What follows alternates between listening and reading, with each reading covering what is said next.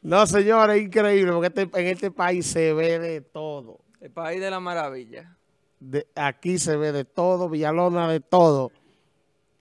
Eso no es que mi mamá me dijo. Eso que...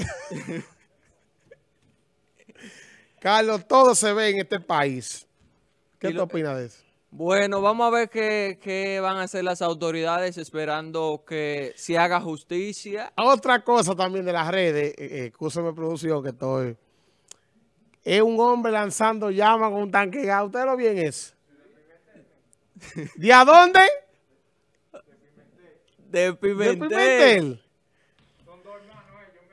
Pimentel? Miren eso, señores.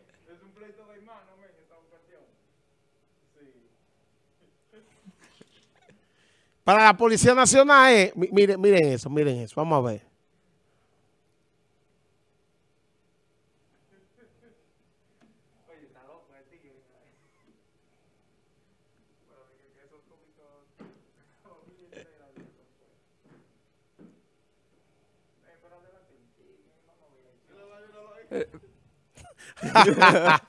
Mire, señor, un tanque gabro ese hombre.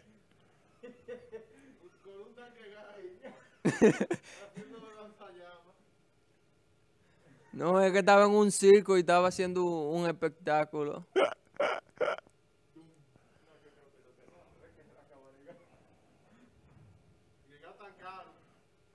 No, increíble, pero miren que él lo abre. Prendido, mira. Ay, Dios Ay, mío.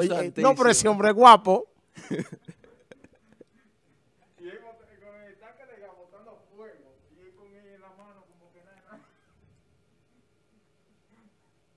Ay, ay, ay. No, no, pero Entonces, ese hombre que tiene cuidado. Tiene problemas psicológicos. Psicológico no. Dios mío, uno se ríe, pero es verdad. Uno se ríe, pero es verdad. Y tú lo acabaste de decir, aquí hay de todo. Pero ese hombre abre un tanque de gas, Y se queda con él. se queda que- con el agarrado y le hace así a la gente. Ve. Y una mujer le pasa por el lado y él... No, ¿y qué? Tiene que correr. Y lo lindo del caso es que hay un carro ahí mismo. Ahí que se había cogido No, ese hombre da para matar a 20 gente. eh, porque... Y lo abre y lo cierra y lo abre. eh. Un pleito de hermano me dicen que eran. eh. Si eso es con un hermano... Imagínate con un particular. Señores, hemos, hemos llegado a- al final, Carlos, ¿eh? Sí, nosotros estamos. Hoy fue Sí, como heavy. sí, fue algo, programa, eh, eh, nos tú estás yendo, estoy yendo, ya lo estamos bien, Dios Carlos. Urbano, Sí, nos algo tranquilo. parte social, variado. Una cosa variada, tú sabes que aquí lo hacemos whatever, como dice. Whatever Gracias a. Villalona, que nos dio una asistencia técnica hoy, Villalona, ¿eh?